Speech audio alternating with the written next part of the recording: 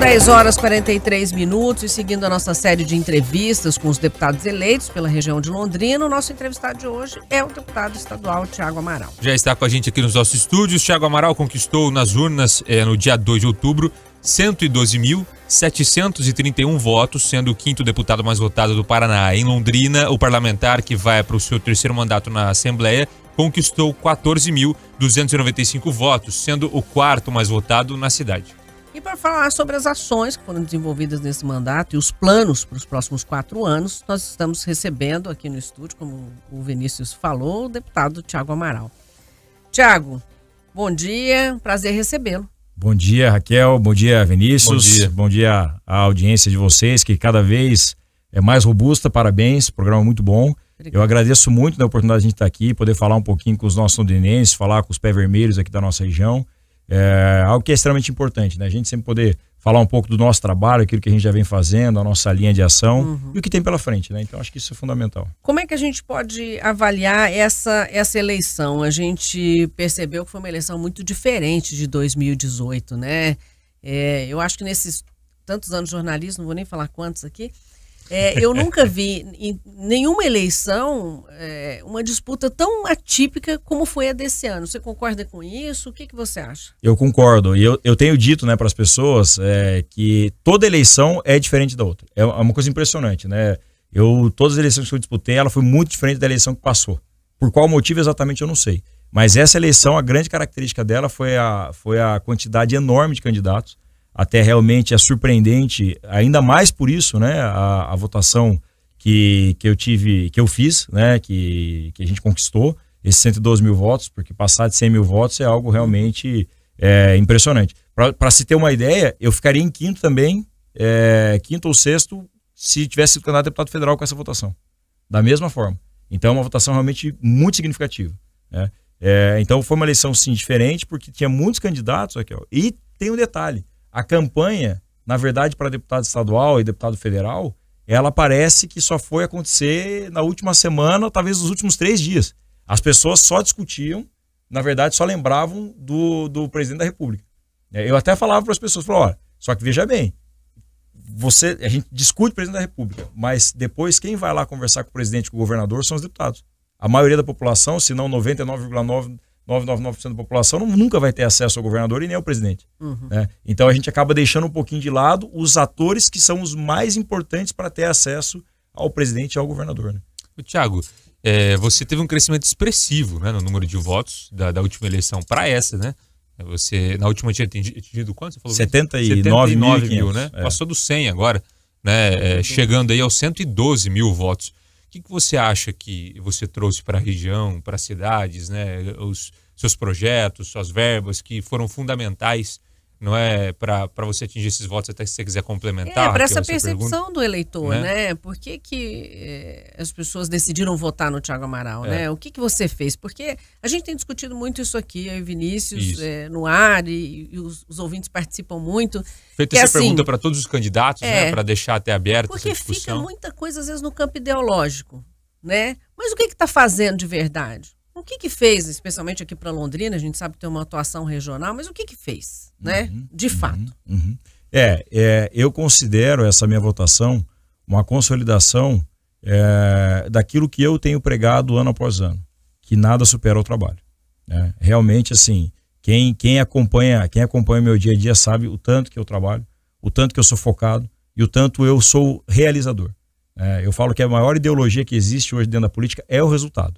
Né? Então, para mim, isso é lei. Né? O resultado é realmente aquilo que mais importa. É claro que você defender bandeiras é importante. Você ter posicionamento é importante. Mas no final das contas, ninguém enche a barriga com ideologia. A gente enche a barriga com resultado. Né? Então a gente precisa, é claro, ao mesmo tempo que defender algumas bandeiras, mas também fazer acontecer. Se a gente, se a gente não tem a duplicar, eh, por exemplo, a, a, a, o viaduto Bratislava né, na 369, é, com certeza absoluta, do dia que ele inaugurou até aqui, nós já teremos tido outras tantas mortes. E do dia que ele foi inaugurado, Raquel, até aqui, nenhum único acidente foi registrado. Então, é, é o que eu falo, ali não é um, um, um emaranhado de, de concreto e de ferro. Ali é um monumento à vida. Porque aquele viaduto é um viaduto que salva vidas e que deixa é, que preserva famílias. E essa foi uma atuação sua? Uma atuação é, muito forte minha. Mais uma das pautas que foi é, coordenada pela, pela Comissão de Infraestrutura. Né? Claro que obras grandiosas, é, lógico, a, a região defende. Né? A região defende, não só o político. As pessoas defendem, as pessoas esperam, as pessoas cobram. A, a, acho que a grande ação, né, é, a grande inteligência é você saber como fazer. É você saber como você coordenar um processo para aquilo trazer resultado. E você ser, você ser persistente, você, eu brinco até, ser mais chato que o chato, né? Porque a disputa é gigantesca, né? Nós temos 399 municípios do estado, né? Cada um puxando para a tua região. Então, quem for mais estratégico, quem for melhor, quem for mais insistente, conseguir demonstrar isso para o governo, vai levar. Então foi assim que a gente conseguiu conquistar, né? Montando a comissão de infraestrutura, né? Para as pessoas que não sabem, a gente é, trouxe as principais entidades que os governadores sempre ouvem, né, para tomar uma decisão, eles querem saber da sociedade civil organizada. Então tá bom. Aí pegamos a sociedade civil organizada, colocamos eles reunidos e eu, como representante político, né, até porque fui o criador da comissão e coordeno esse processo, é, a gente elencou quais são as principais pautas, porque acontecia muito, né, aqui em Londrina, das pessoas, cada um, cada um pediu uma coisa. Cada um pediu uma coisa, cada um saia falando, não, para mim o mais importante é o viaduto A, o outro é a duplicação da rodovia B, o outro é não sei o quê. Então cada um ia para uma direção a gente parecer, com todo respeito, parecer umas baratas tontas. Né? Então, assim, a nossa força é muito grande em Londrina e no norte do Paraná para a gente sair disperso. Então, a comissão, ela, na verdade, ela direcionou tudo, né? Ela fez todo mundo falar a mesma língua. Vocês elencaram X obras e Exatamente. conseguiram todas? Então, o que, que foi feito? Duplicação é. da 445, a mais hum. importante hum. obra né, de todos os tempos para a nossa região. Ela foi dividida em três trechos. O primeiro está executado já, que é a Londrina Tererê. O segundo trecho é Mauá da Serra até Lerroville, que está agora em plena execução. Né? A obra, inclusive, está avançando muito bem, depois de um longo período de espera. E nós temos o terceiro trecho que ainda aguarda a licitação, né? mas já tem compromisso até em entrevistas dado pelo próprio governador, de que ele vai licitar também, também essa obra. Então, a duplicação da 445 hoje a gente pode dizer que é uma realidade. Né? Está já, em, já, já está em execução. O viaduto Bratislava em Cambé, que é o ponto de maior índice de acidente e de mortes da nossa região, né? Esse já está esse já tá concluído. É uma obra que não atende só a Cambé, né? Uma obra que atende a cidade de Rolândia, que atende a cidade de Arapongas, que atende a Londrina, que atende a Cambé, né? Porque todo mundo passa por ali em algum momento. É, nós temos também o viaduto da PUC, que já está agora em fase de execução, não a construção, mas a elaboração do projeto, porque ele também está sendo feito no formato RDCI, né, que é aquele formato de contratação simplificada, que a empresa que vai executar a obra é a mesma empresa que faz o projeto. Né? É, o viaduto aqui do Grêmio, esse era para ter sido o primeiro viaduto. Esse viaduto ele só não saiu porque, na verdade, quando foi para partir para o processo de licitação, o DENIT entendeu que havia é, uma impossibilidade em função da angulação da pista. Então, o DENIT falou, olha, tem que ser mais... Aí não pode ser, tem que ser em outra rua. Aí chamamos a prefeitura e conseguimos definir ali, me fugiu agora o nome, um pouquinho mais para frente, sentido Ibiporã, né, do, da Angelina Rite Vezoso, um pouquinho mais para frente, bem aonde tem ali é, aquele terreno do lado direito, indo para Ibiporã, um terreno, um terreno vazio, né? E do lado esquerdo hoje é uma onde está o parque, o parque tecnológico. Então vai ser bem naquela, bem naquela, naquela, naquele entroncamento ali que vai ser esse viaduto. A prefeitura de Londrina está fazendo o projeto para devolver ao governo do estado para executar a obra. Mas esse tinha sido o primeiro já que tinha sido autorizado. Mas está, tá, tá, digamos Tem assim, está, está encaminhado, está encaminhado. O contorno norte, que a gente conseguiu fazer o projeto novamente, mudar o traçado, foi subdividido em três, em três, é, é, em três áreas ele não foi executado em função daquela, é, daquela ação até do Ministério Público, que acabou levando a discussão ali para nível judicial, que ficou naquele âmbito. Será que é competência do Estado ou é competência da concessionária, né, da concessão? E aí o governador falou assim, olha, não tem como eu executar porque agora é, aquele contrato, que aquele, aquele aditivo que dizia que a responsabilidade era do Estado, deixou de existir. Então voltou a ser a responsabilidade da concessão. Então não dá para executar. Então ficou parado nisso. Né? Uhum. Aí a concessão agora acabou e esse, e esse trecho do contorno norte está inserido na nova concessão. Né? Ele já está na nova concessão. Quando ela for licitada, ela será licitada com o contorno norte. E o outro que é o aeroporto, que a gente conseguiu fazer o projeto do aeroporto, da ampliação do aeroporto, que era a ampliação da pista, da área de táxi, da instalação dos equipamentos. É, e quando foi para executar o, o, o projeto, ou, ou melhor, para executar a obra, já que o projeto estava feito, é, veio a concessão também. Então agora. Federal, agora está é, com a CCR. Agora está com a CCR. A CCR fez uma reunião recentemente conosco e sinalizou que, que vai iniciar as obras é, logo, logo. Então essas foram as, as, cinco, na verdade seis obras que nós elencamos. É, todas elas a gente tem um encaminhamento muito claro que foi colocado. Né? Aí a gente tem pela frente ainda o viaduto lá da Esperança, lá em Cambé, que é que eu falo que é o próximo trecho nosso aí, com certeza, de ação. Temos aqui um viaduto ainda para discutir, que é o viaduto aqui da, da, do lado do Bratislava, ali na 369, né, que também tem um número de acidentes muito alto, é, trava ali totalmente o, o trânsito. É, tem outras obras também na região, como duplicações que a gente tem que fazer, pontes que a gente tem que fazer na área rural. Mas, assim, de uma forma geral, essas foram as obras que foram elencadas. Dá para se dizer que a comissão funcionou e muito, porque tiramos obras importantes do papel e as que ainda não iniciaram a execução, elas têm um encaminhamento certo. Não está assim perdida no tempo e no espaço. Ô, Tiago, até dando gancho sobre essa questão de, de estrutura né, é, é, de rodovias aqui do Paraná. Ontem a gente estava aqui com o Terceiro Turini falando sobre esse assunto e a preocupação é, é, dele, de todos os deputados, acredito, com relação às últimas informações que a gente tem de aumentos é, expressivos que podem chegar os, as, as praças de pedágio no Paraná. Não é? E é claro que vocês têm um papel fundamental nessa discussão para tentar evitar uma concessão de, de rodovias aqui que encareça o pedágio ou que traga um valor que a gente não esperava, porque acredito que todo mundo é, é que viu essa, essa ruptura de concessão imaginava agora novas concessões com valores mais baixos aqui para o Estado. Como é que você avalia essa mudança? Ah, seria muito ruim, né? Se a gente tivesse um resultado que não fosse uma redução efetivamente é, dos valores do, do, do pedágio, né? É, eu, inclusive, tive lá no Tribunal de Contas da União, antes da, da eleição, acho que foi em abril, é, março, maio, em maio. Se não me engano, em maio, até vou confirmar certinho a data. Né, nós tivemos uma comissão da Assembleia, tivemos eu, o deputado Evandro Araújo e o deputado Arilson Chiorato. Nós tivemos lá acompanhados por técnicos aqui do Estado, é, não do governo, mas técnicos, inclusive da Universidade Federal. É, nessa reunião que a gente teve, o que foi tratado foi realmente que os projetos ainda estavam em análise pelo Tribunal de Contas da União e que eles tinham alguns questionamentos, inclusive sobre os valores apresentados se os valores apresentados realmente seriam suficientes para custear as obras que estavam previstas. A gente até noticiou aqui hoje que eles responderam, né? Falaram: olha, Sim. a gente está analisando, a gente está esperando o relatório final do TCU para tomar uma decisão, mas já re, pelo menos responderam, assim, não ficou no, no, vácuo, né? Como diz. É, eu realmente acredito, né, que que, que os valores não, não, não, não, não devem, não né? podem ultrapassar os valores que foram, que terminaram, até porque eram valores absurdos. Né? Mas eu digo assim, o pior de tudo, além dos valores absurdos, eram os valores e a, e a falta de obras, obras de qualidade. As obras foram muito ruins, né? É difícil você é, qualquer, qualquer pessoa que chega ali se sente lesada, né? A verdade é essa, a gente se sente lesado, se sente assaltado realmente a mão armada, né? E não é para tomar uma cervejinha não, eu tô falando assim, é para,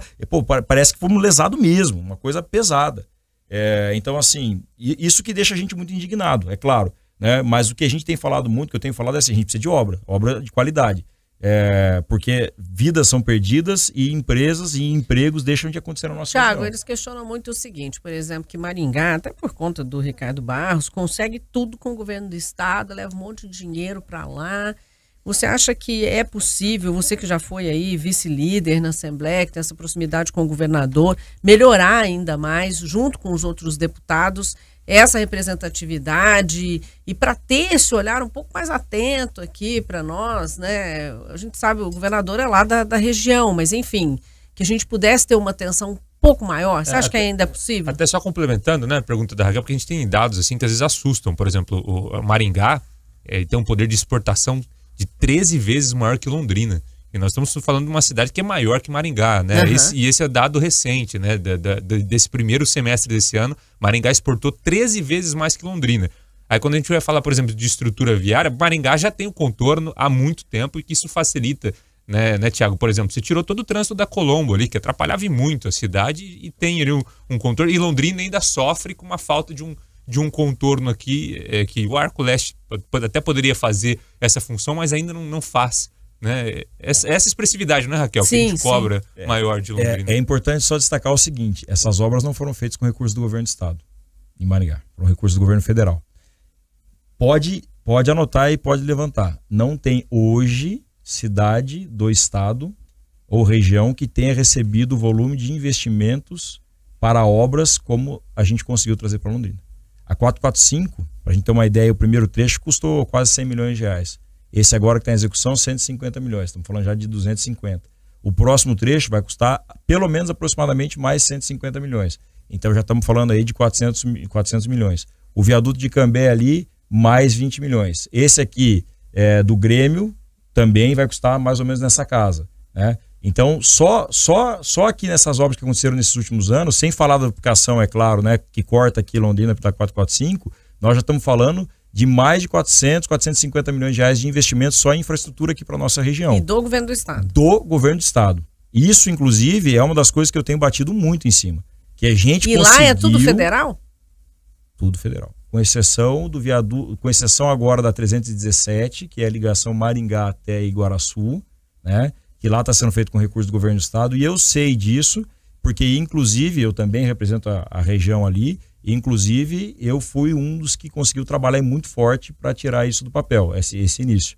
Então, assim, eu posso dizer, realmente a nossa região aqui é, tem sido muito assistida com recursos do governo do estado. A 369, vamos lembrar, a 369 é federal. Então, esses viadutos que nós estamos falando da PUC, o viaduto Bratislava, né, em Cambé, o viaduto do Grêmio, são tudo em rodovia federal. Então, e com dinheiro estadual. Com o dinheiro do Estado. Né? Então, assim, isso é um ponto que eu destaco que se a gente conseguir realmente né, é, uma efetivação de envio de recursos federais também para a nossa região, para essa parte de infraestrutura, nossa senhora, a gente, no, olha, no bom sentido, a gente explode. Né? Eu não tenho dúvida nenhuma disso. Vai ser muito bom. Tiago, nosso tempo está encerrando, mas a gente não pode deixar de fazer a pergunta. Você vai ser candidato a prefeito aí na próxima eleição? É, essa, essa é uma pergunta, obviamente, que todo mundo faz, até porque eu disputei a última, a última uhum. eleição de prefeito, com a votação expressiva que a gente teve agora. Né? Com certeza isso é algo que, nossa, me daria uma honra gigantesca, né? Ser prefeito da nossa cidade de Londrina. É, mas é importante destacar também que nós temos duas sucessões em aberto no, no, no estado, né? A, aqui é de Londrina, mas nós temos também a sucessão do governador Ratinho Júnior. Não entendi. A sucessão do governador Ratinho Júnior. Quem que vai ser o próximo governador do estado? É? Mas, mas espera aí, tem... as ambições são maiores, então? As suas? De, de por... sair candidato a governador? Por que, por que, que um pé vermelho, por que, que essa região nossa aqui do norte do Paraná, por que, que Londrina não pode ter um governador?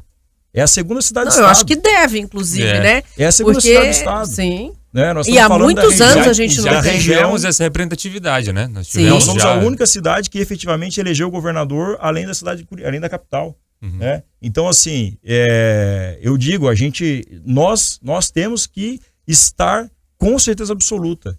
Né? O norte do Paraná, Londrina, necessariamente tem que estar nesse debate. Tem que estar nesse debate, tem que estar nesse processo. E precisa construir um trabalho e rápido, né? Porque a gente tem quatro anos aí, parece muito mas não é. Né?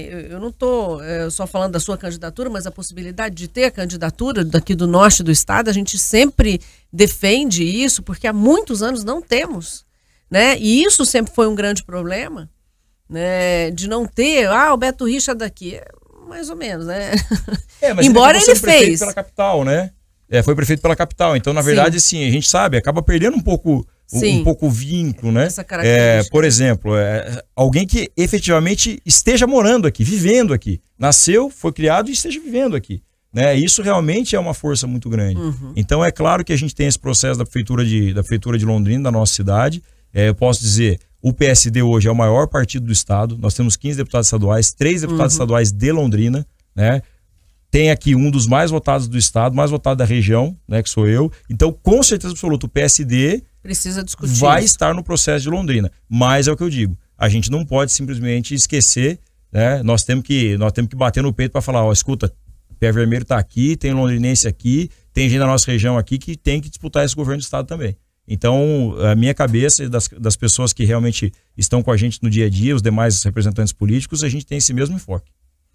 Tá certo. Obrigada, Tiago, pela entrevista. Desejo sucesso, desejamos, né, Vinícius, sucesso aí nessa caminhada, porque é muito importante que a gente tenha uma representatividade é, com ação, né? Tanto estadual quanto federal. Nosso tempo encerrou, estamos estouradíssimos aqui.